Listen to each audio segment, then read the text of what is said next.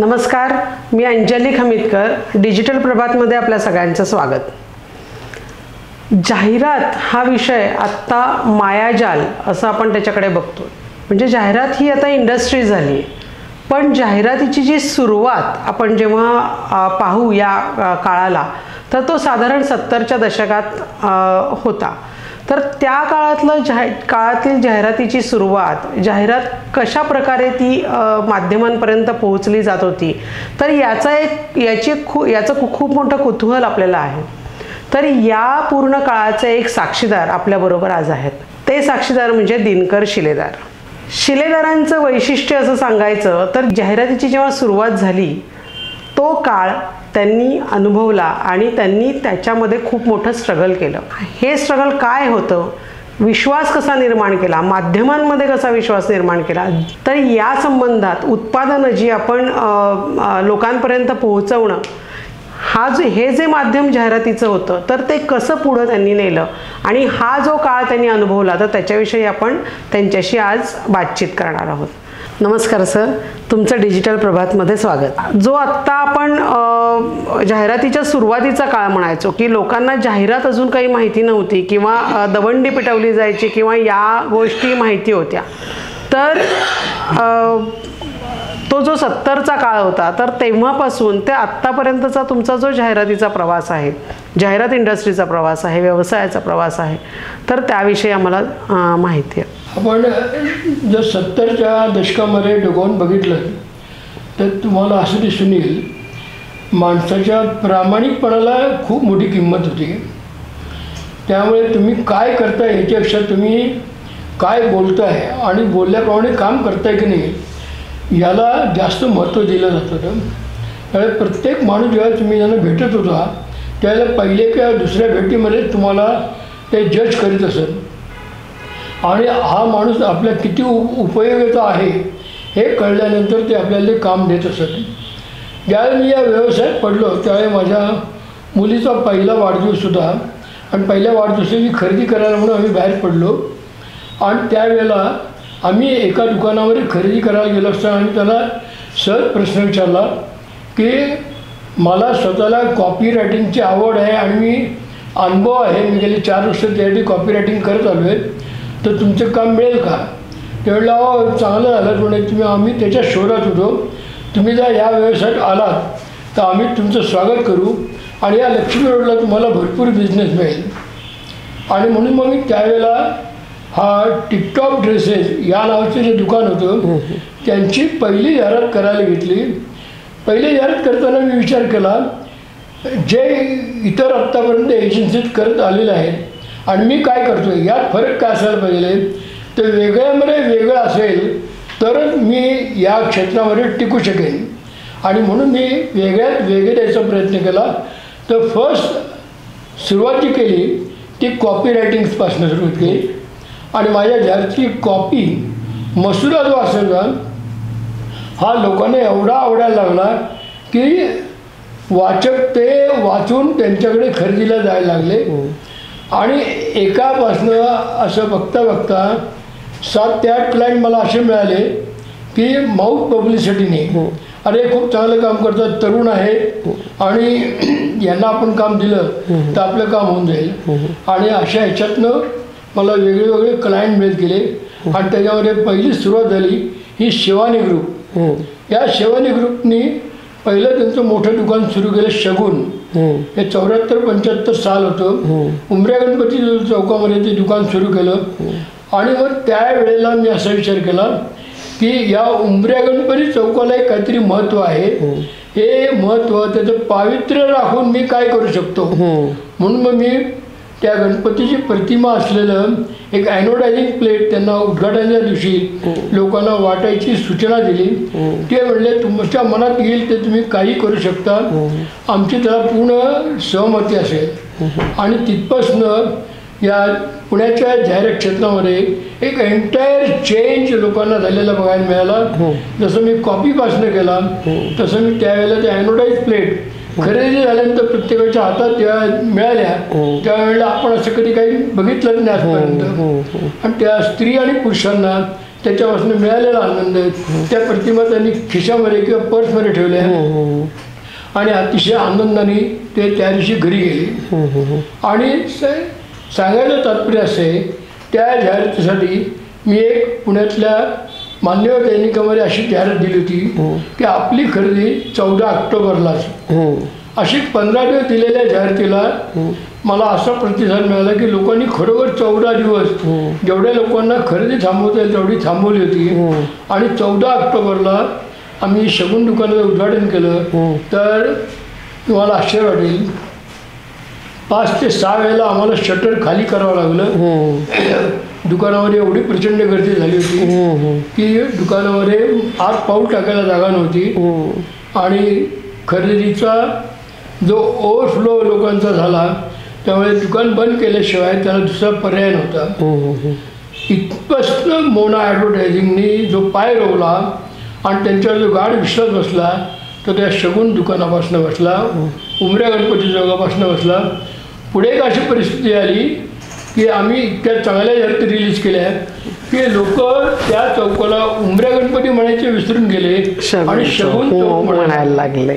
त्याला अर्थात पाच दहा वर्षाचा काळ निघून गेला. पण मी भविष्यात काय घडलं हे तुम्हाला आधी सांगितलं की जसं आपण म्हणतो चॅरिटी बिगिन्स ॲट होम एखादी चांगली गोष्ट ज्या तुमची तुमच्या घरामध्ये घडवता तर त्यावेळेस सुद्धा फायदा काय होतो? हा लोकांना त्यावेळी बघायला मिळाला. बरोबर. तुम्ही आत्ता बोलताना असं म्हणालात की कॉपी अशी होती की जेणेकरून लोकांनी त्याच्याकडं अट्रॅक्ट लोक त्याच्याकडे अट्रॅक्ट झाले आणि तुम्ही ती साध्य करू शकलात तुमचं जे काय एम होतं ते. पण कॉपी रायटिंगवर तुम्ही काय वेगळी मेहनत केली? कारण त्या काळामध्ये कॉपी ही सगळ्यात महत्त्वाचा विषय होता की शब्द त्याच्यातलं मराठी पण ते अपील होणं. तर त्याच्यावर तुम्ही काही वेगळी मेहनत घेतली किंवा काय या संदर्भात काय सांगाल? तो काळ होता लिथो प्रिंटिंग प्रेसचा. त्यामुळे लोक आपण काही चांगल्या वर्डिंगमध्ये जाहिरात लिहिली तर लोकांचं वाचताना त्याकडे लक्ष द्यायचं किंवा जाहिरातदाराला मला काय मेसेज द्यायचा आहे हे बघून वाचक खरेदीला जात असत तर मग त्या ठिकाणी त्या सण असेल वार असेल लग्नसरे असेल तर तिथे जाहिरातीचं वर्णन कसं करायला पाहिजे याला मी एक वेगळी दिशा दिली. आणि अतिशय चांगल्या मराठी भाषेमध्ये रूपांतर करून ती कॉपी मी जगासमोर मांडण्याचा प्रयत्न केला. आणि ते पुण्यातल्या समाजाने स्वीकारलं. मोना ॲडव्हर्टायझिंग हा जन्म झाला. पण मोना ॲडव्हर्टायझिंगला का स्वीकारलं? तर त्यांनी घडून आणलेला बदल. हा. बदल पचनी पडायला आणि मी तिथे यायला एकच वेळ झाली. आणि त्यामुळे लोकांनी मला स्वीकारलं जाहिरातीला स्वीकारलं आणि एका पाठोपाठ एक असे क्लायंट्स जे कधी जाहिराती रिलीज करत होते ते माझ्याकडनं जाहिराती रिलीज करायला सुरुवात झाली. त्याचा परिणाम असा झाला की मी त्यावेळेला गरवारे नायलन्समध्ये तीन शिफ्टमध्ये काम करत होतो. तर जर सेकंड शिफ्टमध्ये मी काम केलं तर मला ह्या व्यवसायामध्ये काम करायला जास्त वेळ मिळायचा. झोपही व्यवस्थित व्हायची तर मी माझी सेकंड शिफ्ट ही दुसऱ्या त्याची थर्ड शिफ्ट मी घ्यायचो आणि सेकंड शिफ्ट दोन करायचो. आणि असं करून आम्ही आमच्या कंपनीमधल्या कामाची विभागणी करून मला त्या लोकांनी सहकार्य केलं. त्यामुळे मी चांगल्या रीतीने पाय रोवू शकलो चांगलं लिहू शकलो. आणि त्याचा परिणाम उद्योगधंद्यावर खूप चांगल्या प्रकारे होऊ शकला. चांगले शब्द अलंकारिक शब्द यायला येतात. त्या लोकांना ते वाचायला आवडतात. तर त्या काळामध्ये ते लोकांनी स्वीकारलं. एक तुम्ही असं म्हणालात की तिथे लोकांना तुम्ही पत्रकं दिली किंवा एखादी गोष्ट दिली आणि त्यांनी ती पर्समध्ये ठेवली. पण जेव्हा माध्यमांमध्ये आपण गेलो लोकसंख्या वाढली जास्तीत जास्त लोकांपर्यंत हे जेव्हा पोहोचवायचं होतं तेव्हा त्याचा मा त्याच्यासाठी माध्यमांचा उपयोग आपण केला. तर माध्यमांमध्ये पण तुम्हाला जाण्यासाठी बराच संघर्ष करायला लागला की मुंबईला नेऊन द्यायला लागायचं डेक्कन क्वीननी जाऊन. किंवा ह्या जो काय आता कारण आत्ता जो इझीनेस आहे की इंटरनेटच्या माध्यमातून. तो त्या काळात नव्हता. जे मटेरियल आपण म्हणतो जाहिरात मटेरियल देणे तर त्याचा तुम्ही कसा संघर्ष केला त्या काळात? की ते कसं तुम्ही करायचं? पुढे जर काळ सरकत गेला तसे ब्लॉक मेथडने चांगल्या जाहिराती प्रसिद्ध करण्याचे दिवस आले. आणि त्या ठिकाणी मी बाजी मारली. अट्रॅक्टिव्ह लेआउट अट्रॅक्टिव्ह कॉपी आणि ब्लॉक मेथडनी जाहिरात रिलीज करताना मला मिळालेलं आकाराचं साईजचं स्वातंत्र्य हे थोडं वाढवून मोठ्या प्रमाणात मिळालं. त्यामुळे मी माझ्या एजन्सीनी चांगली कला दाखवायचा प्रयत्न केला. तो साध्य झाला. त्या काळात आम्ही मुंबईला टाइम्स ऑफ इंडियाला जाहिरात द्यायला जायचो. तर सुरुवातीचा काळ असा होता की एजन्सीला दहा टक्के कमिशन मिळतं. एजन्सीने आपल्याला पाच टक्के कमिशन द्यावं. पाच टक्के स्वतःला ठेवावं. आणि बिझनेस करावा. ॲक्च्युली मला टाइम्स ऑफ इंडियाकडे मी जेव्हा बिझनेस सुरू केला त्यावेळी एकही टक्का कमिशन मिळत नव्हतं. दोन वर्ष मी अशी काढली की मला टाइम्सने कमिशन दिलं नाही. माझे पाय रोवायला फक्त त्याची मदत झाली.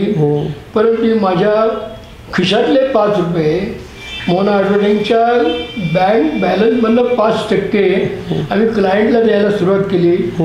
आणि आम्ही लाईनमध्ये उभे राहिलो. तेवढ्यासाठी डेक्कनकडनी मुंबईला जावं लागायचं. मग मी किंवा माझी मिसेस आम्ही मुंबईला जायचो बिझनेस द्यायचो. तर टाईम्समध्ये सुद्धा आम्हाला इतकं चांगलं कोऑपरेशन मिळायचं. तर गोपुष्कर त्या तिथे होते. ते म्हणायचे अगं वहिनी तू का आलीस? पुण्याच्या ऑफिसमध्ये जाहिरात दिली असती आणि तुझं नाव लिहिलं असतं. मी ती लगेच घेतली असती. टाईम्समध्ये पाच सेंटीमीटर सिंगल कॉलमची जाहिरात यायला आठ आठ दहा दिवस लागायचे. आम्ही जाहिरात तिथे जाऊन झडकल्यानंतर तो माणूस पहिला लगेच तिथे रजिस्टरमध्ये लिहायचा उद्याला मोना आठवड्याची या क्लायंटची जाहिरात लावायची. आज दिलेली जाहिरात ती दुसऱ्या दिवशी जाहिरात आमची येत असे. केवळ मी किंवा माझी मिसेस आमचं बोलणं चांगलं असल्यामुळे आणि आम्ही लोकांशी संबंध चांगले डेव्हलप निर्माण केल्यामुळे आम्हाला तो प्रेफरन्स चांगला मिळाला. आज जाऊन आम्ही उद्याला जाहिरात प्रसिद्ध करू शकत होतो. ही. आमची केस होती. अदर टाईममध्ये पाच सहा दिवस आठ दिवसाशिवाय जाहिरात येत नसत आणि हे दुर्भिक्ष पुण्यातल्या सकाळमध्ये सुद्धा होतं. त्याला कारण नंबर ऑफ पेजेस कमी असायचे. आणि पानं कमी असल्यामुळे एका वेळेस जाहिराती वाढल्या तर पानं वाढवायला लागायची. पानं वाढवणं हे शक्य नसायचं. कारण त्या काळामध्ये न्यूजपेपर हा बँकेला हायपोटिकेट केलेला असायचा बँकेकडनं पै पेपर सोडून घेताना बँकेला आधी पैसे भरायला लागायचे. आणि मग न्यूजपेपर सोडून मिळाला की तो सहाच्या जागी आठ आठाच्या जागी दहा किंवा बारा पानाचा पेपर हा छापला जात असे. त्याच्यासाठी एवढ्या गोष्टी एका वेळेला करायला लागत असे. आता कॉर्पोरेट वर्ल्ड आलं आहे बऱ्यापैकी. आणि सोशल मीडिया पण खूप मोठ्या प्रमाणावर होतं आहे की आता असं आहे की प्रिंटलाच येणं किंवा असं काही विषय राहिला नाही की लोक आता प्रत्येक स्वतःचं एक माध्यम चालवतात आणि त्याच्यातनं ते जाहिरात करत असतात. तर त्याचा काही परिणाम प्लस मायनस असं काही झालं आहे का? की किंवा तुम्ही त्याच्यात स्वतः या माध्यमातनं काही बदल करून घेतला का? की त्या अनुषंगाने की आपण सर्वाईव्ह होण्यासाठी वगैरे? मुळामध्ये मी गरवारे नायलॉन सारख्या चांगल्या कंपनीत काम करत असल्यामुळे तिथे फॉरेनचे न्यूजपेपर येत असत. तिथे येणाऱ्या मला जाहिराती बघायला मिळत आणि त्या दोन दिवसापूर्वीचा पेपर मला दोन दिवसानंतर बघायला मिळायचा. त्यावेळी भारतामध्ये जाहिरातीचा प्रसिद्ध करण्याचा कल काय आहे? आणि तो मलेशियामध्ये काय आहे? इंग्लंडला काय आहे? अमेरिकेत काय आहे?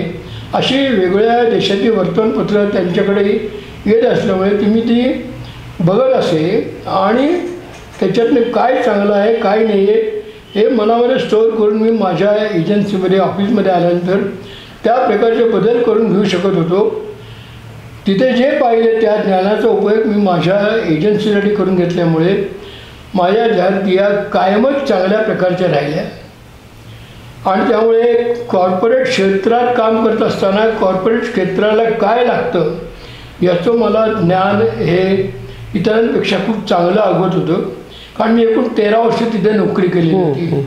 शिलेदार साहेब त्यांच्या व्यवसायाचे पन्नास वर्ष आत्ता पूर्ण होत आहेत. तर हे सगळं करत असताना कॉर्पोरेट वर्ल्ड जाहिरात हा सगळा विषय त्यांचा सुरूच आहे. पण त्याच्याबरोबर त्यांनी स्वतःचं एक छंद म्हणून आपला छंद हा एक दिवाळी अंक ते दरवर्षी काढतात. तर त्याचंही एक त्यांनी वेगळेपण जपलं आहे आणि त्याचाही खूप मोठा वाचक वर्ग आहे. तर त्या दिवाळी अंक सुरू करण्यामागं आपलं काय उद्देश होता आणि एक आवड म्हणून आपण तो सुरू केला? मला स्वतःचं वर्तमानपत्र सुरू करायचं होतं. हे खरोखर चौऱ्याहत्तर पंच्याहत्तर साली. पण ते माझं स्वप्न काही पुरं झालं नाही. आणि मी कामामध्ये नोकरी आणि ह्याच्यामध्ये एवढा बिझी असायचो की मला वेळच मिळायचा नाही. मी वर्तमानपत्र सुरू करू शकलो नाही. त्यावेळेला प्रतापराव पवार आणि माझी आणि त्यांची गाठ पडली ती म्हणली, मी आता सकाळ घेतला आहे तुला काय जरूर आहे? तुला काय लागेल? तर तू इथे तुला पाहिजे इथे तुला मिळू शकेल. तुला अजून काय दुसरं करायचं कर. पण ती पंच्याऐंशी शहाऐंशी सालची सप गोष्ट त्यांनी पेपर घेतलेला. मला शेवटी माझं स्वप्न पुरं करायला अठ्ठ्याण्णव साल उघडलं. मग मी आपले छंद या नावाचा दिवाळी अंक सुरू केला. मला माझे छंद लहानपणापासून पुरे करता आले नाही. Because I did not have money माझ्या वडिलांच्याकडे त्यांचं पेन्शन आणि घराचं भाडं याच्यामध्ये दहा माणसं घरामध्ये जेवायला असल्यामुळे त्या पैशामध्ये आम्हाला घर भागवणं महत्वाचं होतं. माझ्या आवडीनिवडी पुऱ्या करायला वेळ नसायचा. पैसा नसायचा. म्हणून मी आपले छंद हे नाव दिलं आणि दिवाळी अंक काढला. परंतु छंद जोपासणाऱ्या लोकांसाठी दिवाळीनं अंक न काढता छानदिष्ट लोक जगासाठी काय करतात? तो मूळ विषय धरून मी दिवाळी अंक काढला आणि असं ठरवलं की माझा दिवाळी अंक संग्रह व्हायला पाहिजे. आणि पहिल्या अंकापासनं आज यावर्षी प्रसिद्ध होणार चोवीसावा दिवाळी अंक आहे. प्रत्येक अंक संग्रह कसा होईल याचा मी विचार केला. त्या काळात मी लोकांना लेखकांना विषय देत होतो. तर मान्यवर श्रेष्ठ लेखक मला म्हणायचे हे कोण आम्हाला विषय देणार? हे कोण फौजदार लागून गेले? बरोबर. आम्ही इतके मानमान्यता पावलेले आहोत. आम्हाला फक्त त्यांनी लेख मागायचा आम्ही देऊ त्या विषयावरचा लेख देऊ. मी म्हटलं तुम्ही तुमच्या घरात खूप मोठे आहे. मला सगळं मान्य आहे मी तुम्हाला नमस्कार करतो हात जोडून. परंतु माझा अंक हा इतरांपेक्षा वेगळा काढताना वाचकांनी तो वेगळ्या प्रकारे स्वीकारावा. यासाठी माझा हा बालहट्ट समजा आणि मला पाहिजे त्या विषयावर लेख द्या. माझा विचार त्यांना पटला आणि त्यांनी मी ठरवलेल्या विषयाला लेख द्यायला सुरुवात केली. आज अशी परिस्थिती आहे की शिलेदार यावर्षी अंकाचा विषय कुठला आहे? आम्हाला काही लिहायला संधी आहे की नाही? आम्ही लिहायचं आहे की नाही? आणि मी प्रत्येक दिवाळी अंकाचा विषय हा दीड वर्ष आधी ठरवतो. आणि त्याप्रमाणे कामाला लागतो. आणि माझा अंक बाजारात येतो. पण एका अंकाचं काम हे दीड वर्ष चाललेलं असतं. पन्नास वर्षांचा काळ मोना ॲडव्हर्टायझिंगच्या माध्यमातनं दिनकर शिलेदार यांनी उभा केला आत्ता आपल्यासमोर तर त्यांची जी आता भविष्यातली आता ऐंशी वर्ष वयाची ते पूर्ण करतायत. त्यांची जी भविष्यातले अनेक प्लॅन्स आहेत की त्यांनी आता ते सांगितले पुस्तकं नाटक लिहायचं आहे त्यांना. आणि या सगळ्या त्यांच्या प्रवासाला आपल्या श- अगदी मनापासून शुभेच्छा. आणि आपण आता इथेच थांबू. धन्यवाद. मोना ॲडव्हर्टायझिंगच्या माध्यमातून पन्नास वर्षांचा काळ जाहिरात क्षेत्रामध्ये दिनकर शिलेदार यांनी काढला. आणि त्याच्यानंतर त्यांचा मुलगा राहुल शिलेदार यांनी ती धुरा पुढे सांभाळली. तर या क्षेत्रात सुरुवातीची आव्हानं दिनकर शिलेदारांकडून आपण ऐकली. परंतु बदलणारा काळ आणि डिजिटलायझेशन याचं याची आव्हानं एक वेगळीच आहे. तर याच्याविषयी आपण राहुल शिलेदार यांच्या यांच्याकडून जाणून घेणार आहोत. अहो शेजारे उच्च शिक्षित आहेत आणि त्यांनी परदेशातून शिक्षण घेतलेलं आहे एम बी ए केलं आहे आणि अगदी first class degree first class त्याच्यातून त्यांनी डिग्री मिळवलेली आहे. पण या क्षेत्रात काम करताना जी प्रत्यक्ष फील्डवरची जी आव्हानं आहेत ही त्यांनी कशी पेलली? त्याला ते सर्वाईव्ह कसे झाले? आणि अन्य स्पर्धकांबरोबर त्यांनी कशी स्पर्धा केली? तर याविषयी आपण जाणून घेऊयात. नमस्कार. नमस्कार. या ही हे जे क्षेत्र आहे ॲडव्हर्टायझिंगचं ते आत्ता खूप मोठं क्षेत्र झालं आहे किंवा की ही इंडस्ट्रीज झाली आहे एक प्रकारे. तर याला माध्यमां माध्यमं जी आहेत ती वृत्तपत्रांबरोबर आता दूरचित्रवाणी किंवा चॅनल्स याच्या माध्यमातून पण खूप मोठी आव्हानं आहेत तर या सगळ्या प्रवासाविषयी तुम्ही सांगा जे तुम्ही लहानपणापासून पण बघितलेलं आहे. ओके. सर्वप्रथम मी डिजिटल प्रभात आणि प्रभातच्या टीमचे मनापासून आभार मानतो. त्यांनी आज आम्हाला ह्या चॅनलवरती बोलवलं आणि आज आमच्या पन्नासाव्या वर्षाच्या निमित्ताने आज तुम्ही आमची जी मुलाखत घेत आहात त्या निमित्ताने मी तुमच्या सर्वांचे प्रथम आभार मानतो. तुम्ही आज आत्ता माझ्या वडिलांशी सुद्धा चर्चा केलीत आणि त्यांनी तुम्हाला काही गोष्टी सांगितल्या गेल्या. पन्नास वर्षांचा जो इतिहास आहे माझ्या आयुष्यामध्ये मी लहानपणापासूनच जर का तुम्ही बघायला गेलात तर पन्नास वर्षां माझ्या म्हणजे माझ्या स्वतःच्या आयुष्यामध्ये बाळकडू तुम्ही आपण जसं म्हणतो ते मला घरातनं मिळतच गेले. अगदी लहानपणापासून क्लायंट लोकांचे आमचं घर आणि ऑफिस त्यावेळेला एकच होतं आणि त्यावेळेला लोकांचे कधी कोणाचे फोन आले तर फोन घ्यायचे त्यांचे निरोप लिहून ठेवायचे आणि ह्या अशा अगदी लहान लहान गोष्टींमधनं मी सुरुवात केली. पुढे जाऊन जेव्हा वेळेला मी काही गोष्टी वाढत गेल्या आणि ना मी जेव्हा माझं कॉलेज शिक्षण जेव्हा सुरू केलं कॉलेज शिक्षण सुरू केल्यावरती मी आमच्या इथं पहिल्यांदा सर्वप्रथम अकाउंटिंगचा सगळा भाग सांभाळायला घेतला. आणि सांभाळा म्हणण्यापेक्षा मी असं म्हणेन की त्याच्यामध्ये मी माझा एक टीम म्हणून मी काम केलं. कारण कुठलंही काम करताना मला असं वाटतं की ना जेव्हा तुम्ही एक धुरा सांभाळायची असेल तर तुम्ही शून्यातनं जर का प्रथम पहिल्यांदा सुरुवात केलीत आणि प्रत्येक क्षेत्रामध्ये तुम्ही त्याचं ट्रेनिंग घेतलं तर तुम्हाला त्याचा जास्त एक फायदा होऊ शकतो. आजकाल सेकंड जनरेशन बिझनेसमॅन म्हणलं की आपण म्हणतो की ना डायरेक्ट मालकाची खुर्ची आपल्याला हातामध्ये मिळते. माझा प्रवास तितकासा अगदी सहज सोपा नव्हता. कारण माझ्या वडिलांची पण धोरणं अशीच होती की पहिल्यांदा प्रत्येक गोष्ट शिकावी आणि मग आपल्या पात्रतेनुसार आपण पुढे जात आहोत तर माझं शिक्षण ज्या वेळेला होत गेलं शिक्षणाप्रमाणे माझं मी एज्युकेशन जेव्हा आपण म्हणतो थेरॉटिकल नॉलेज तर मी माझं थेरॉटिकल नॉलेज वाढवत होतोच. पण त्याच वेळेला मी ज्या ज्या वेळेला सुट्ट्या असायच्या त्यावेळेला मी माझं बिझनेसमध्ये लक्ष घालायचो आणि मी ट्रेनिंग घेत होतो. नंतर माझं एम बी एच्या वेळेला मी सिस्टा साची अँड साची नावाच्या एजन्सीमध्ये मी दोन महिन्याची समर इंटर्नशिप केली. आणि त्यावेळेला अलेक पदमसी जे आपले भारताचे ॲडव्हर्टायझिंगमधले सर्व सर्वात मोठे गुरु मानले गेले एकेकाळचे तर त्यांचा त्यांच्याकडे मला प्र- माझं प्रेझेंटेशन करण्याची मला संधी मिळाली. इंडियन एक्सप्रेसच्या अकाउंटवरती मी काम केलं. आणि मला असं वाटतं त्या तिथून माझ्या स- आयुष्याला कलाटणी मिळत गेली. आपण म्हणतो की मोठमोठ्या लोकांबरोबर जेव्हा तुम्ही उठबस करता त्यावेळेला तुमचे विचार बदलतात. तर त्यावेळेला मला खऱ्या अर्थाने वेगळ्या पद्धतीने विचार करण्याची संधी मिळत गेली. आणि पुढे जाऊन मी माझं उच्च शिक्षण घेण्याकरता मी अमेरिकेत गेलो. आणि त्यावेळेला मला असं वाटतं की माझ्या आयुष्यात आलेली ही दुसरी कलाटणी होती. कारण आपल्या भारतामध्ये आपण अनेक वेळेला आज आपण बघतो की आपण अप्लाइड नॉलेजपेक्षा आपण थेरॉटिकल नॉलेजवरती भर देतो. म्हणजे पाठांतरावरती भर देतो. तिकडे मी अप्लाइड नॉलेज घेत गेलो आणि तिथून मला कळत गेलं की आपण जे शिकतोय ह्या शिक्षणाचा आपल्या आयुष्यामध्ये कसा फायदा होतो त्याचा आपण वापर कसा करू शकतो. आणि त्या संधींचा मी मी जसजसा फायदा करत गेलो त्याच्यानंतर मी जेव्हा भारतात आलो भारतात आल्यावरती मी पी एच डीला अप्लाय केलं. कारण माझी काही शिकायची इच्छा होती. अजून माझी ती शिक्षणाची भूक कमी झालेली नव्हती किंबहुना ती वाढतच गेली होती. तर मी इथे आल्यावरती त्यावेळेला जी मुंबईमध्ये जी स्थित्यंतर घडली होती दोन हजार एक ते दोन हजार सहामध्ये D N A Times of इंडियाने नवीन पे लॉन्च केलेला मिरर अशा लॉन्च केलेल्या अनेक न्यूजपेपर जे होते. तर ह्या स्थित्यंतरावरती मला जरा खूप कुतूहल वाटलं. आणि त्या कुतूहलातनं मी नंतर मी पी एच डीचा अभ्यास करायला घेतला. मी माझी पी एच डी पूर्ण केली मार्केटिंगमध्ये. अच्छा. हो. तर असं माझं शिक्षणाचं मी असं म्हणेन की प्राथमिक माझं शिक्षण तिथे संपलं. पण शिक्षण मी कायमच घेत राहिलो अजूनही घेत असतो. आणि अ, सांगायला तुम्हाला आनंद वाटतो की मी आय एम अहमदाबादमध्ये सुद्धा काही सर्टिफिकेट कोर्सेस केले. रुरल मार्केटिंग कारण माझ्याकडे काही क्लायंट्स मा रुरल मार्केटमधले असल्यामुळे मला असं वाटलं की नुसतंच आपण आपल्या अनुभवावरती अवलंबून न राहता आपण त्या करता लागणारं जे नवीन आहे असं शिक्षण ते शिक्षण त्याच वेळेला घेणं खूप गरजेचं आहे. तुमचा जो काळ होता ज जी सुरुवात होती त्या काळात एक परदेशाची क्रेज असते. आणि तुम्हाला एम एसला जेव्हा तुम्ही गेला तेव्हा तुम्हाला तिथे एक संधी होती की तिथेच राहण्याची किंवा तिथे डेव्हलप होण्याची. तर मग इथे येऊन पुन्हा म्हणजे असं वाटत नाही का की आपण तिकडेच राहिलो असतो तर आणखीन काही डेव्हलपमेंट झाली असती? किंवा इथे राहून इथली डेव्हलपमेंट आपण करू शकतो? म्हणजे दोन्ही पण. की काय जास्त चांगलं वाटतं? की तिकडे राहिलेलं जास्त चांगलं होतं की आता इथे?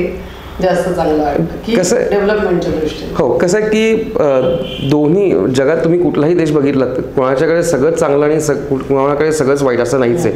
प्रत्येकाकडे काही जमेच्या बाजू आहेत काही अशा गोष्टी आहेत ज्याच्यातनं त्यांना पुढे यायचं असतं. मला असं वाटतं की जे मी शिक्षण घेतलं त्यावेळेला त्या शिक्षणाची गरज मला असं वाटलं की गरज होती. कारण मला ज्या क्षेत्रात पुढं पाऊल टाकायचं होतं ज्या गोष्टी पुढे न्यायच्या होत्या त्याच्याकरता म्हणून मला पाश्चात्य देशात जाऊन अमेरिकेत जाऊन मला शिक्षण घेणं गरजेचं होतं.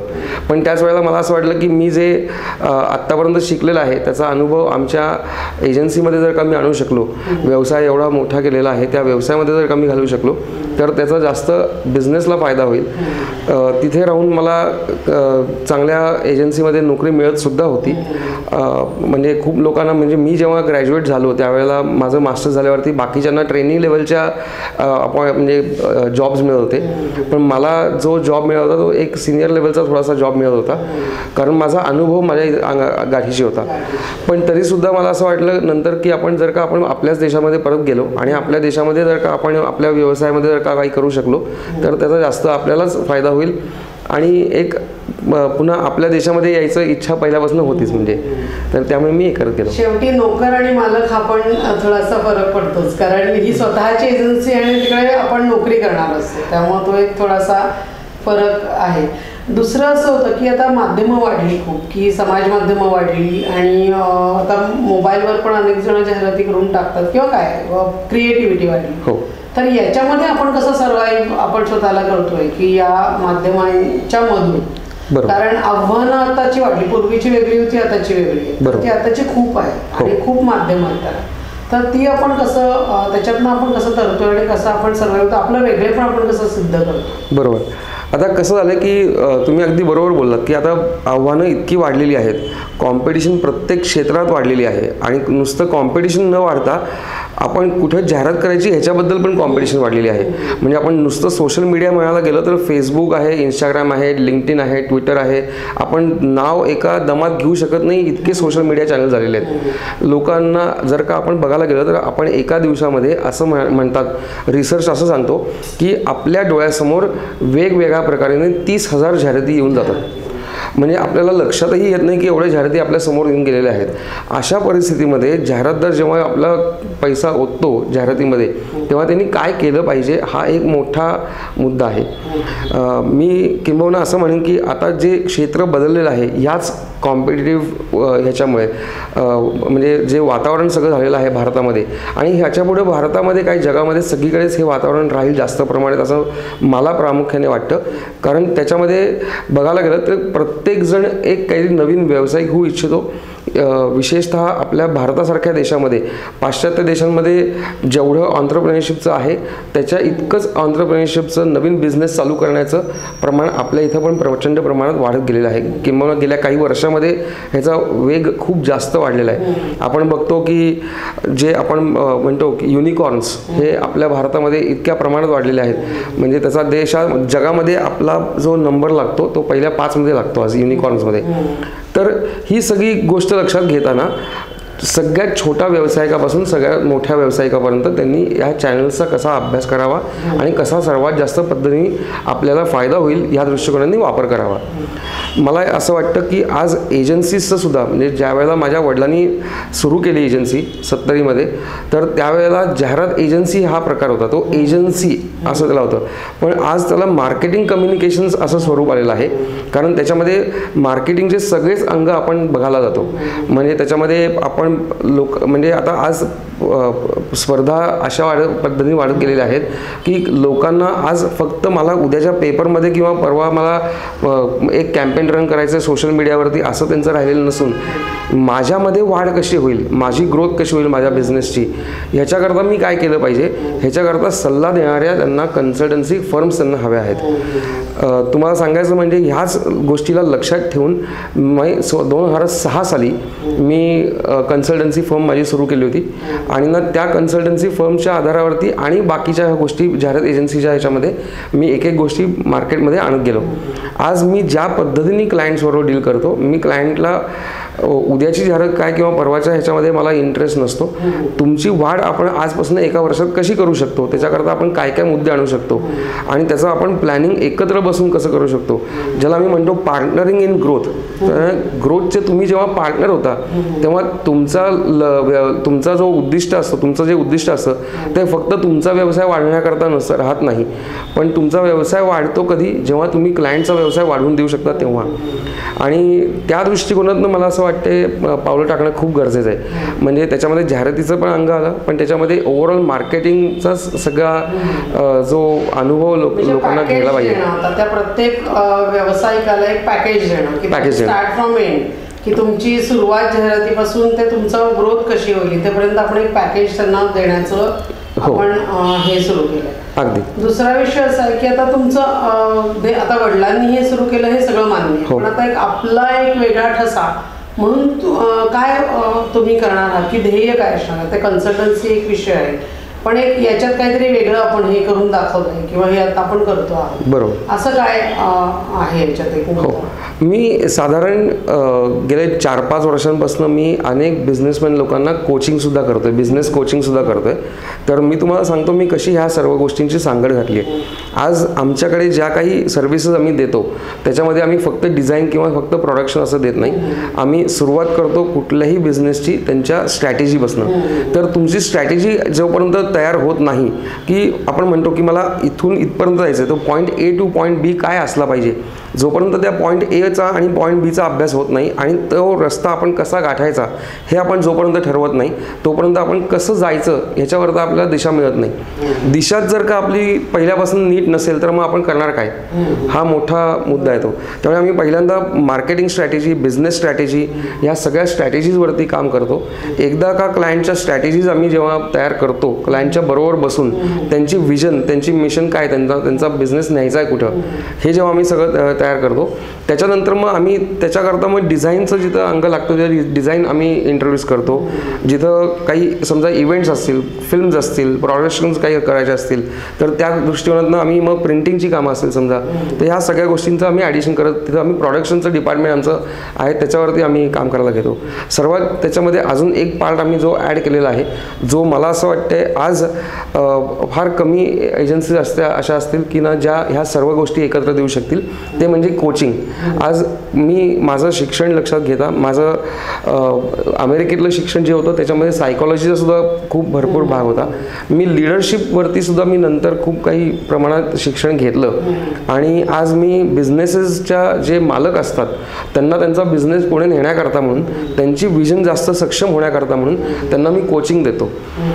जसं मी माझ्या आयुष्यात माझे सगळे टक्के टोणपे खाल्ले तर मला असं वाटतं की कुठलाही सेकंड जनरेशन बिझनेसमॅन जो असतो तो सुद्धा त्याच ह्याच्यातनं जातो.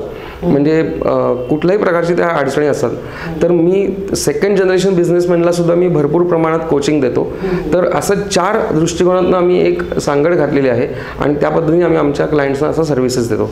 पन्नास वर्षांचा काळ हा खूप मोठा जरी असला तरी पुढची पिढी पण तेवढीच सक्षम असणं आवश्यक आहे. आणि मोना ॲडव्हर्टायझिंगच्या माध्यमातून हे आता आपण पाहतोय की पुढची पिढी तेवढी सक्षम आहे आणि तीही आधुनिकतेची कास धरून ही पिढी काम करते आणि आज त्यांनी केवळ फक्त प्रसारमाध्यमांना वृत्तमाध्यमांना सा- सोशल माध्यमांना हे माहिती पुरवणे एवढेच नाही तर उत्पादक जो असतो त्यालाही ते आता प्रशिक्षण देणं. इथंपर्यंत त्यांनी आपली आता मोठी मजल काढली आहे. हे जे रोपटं आहे ते आता वटवृक्ष झालं आणि ते अगदीच डेरेदार डेरेदार वटवृक्ष झालेला आहे हा. आणि आपल्याला या सगळ्या कार्यासाठी शुभेच्छा. आणि आमच्या प- डिजिटल प्रभातकडून पण आपल्याला शुभेच्छा आहेतच. आपण आमच्याशी बोललात त्याबद्दल धन्यवाद. धन्यवाद.